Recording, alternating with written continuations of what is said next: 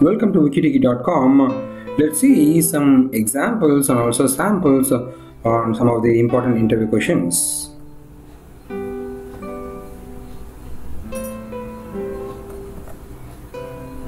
My name is Venkat. I'm a Microsoft Most Valuable Professional. You're able to see my profile in Microsoft.com.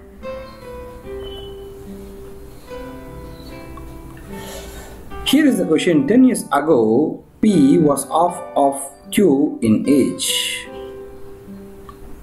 If the ratio of the present age is a 3 is to 4, what will be the total of the present ages? That's the question.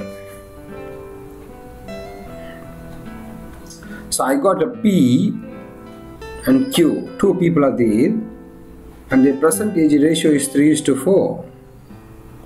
10 years ago, P was half of age in Q. So P is the younger guy and he is the elder guy. Let's see how we can solve it. Let the percentage of P and Q be 3x and 4x. 10 years ago, P and Q, P was half of a Q in age. 10 years ago, the age is 3x minus 10 and 4x minus 10. So P was half of Q in age. So 3x minus 10 is equal to half into 4x minus 10. So 2 here. 2 into 3x minus 10 is equal to 4x minus 10. So 2 into 3 6x minus 20 is equal to 4x minus 10. So moving this one plus 4x here minus 4x minus 20 here became 20. So 2x is equal to 10 and x is equal to 5. So 3 into 5 it's 15 here 4 into 5 it's 20 here.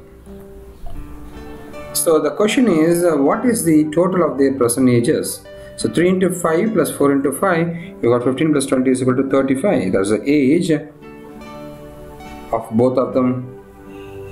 Once added it's their present age. That's it. We got lots and lots of videos for you. You can uh, subscribe to our youtube channel to see regular updates from us. And apart from this uh, if you have any questions you can contact us. And uh, we got a lot of uh, other channels also. If you're looking for technology just go to youtube.com search for wikitechy technology tutorials.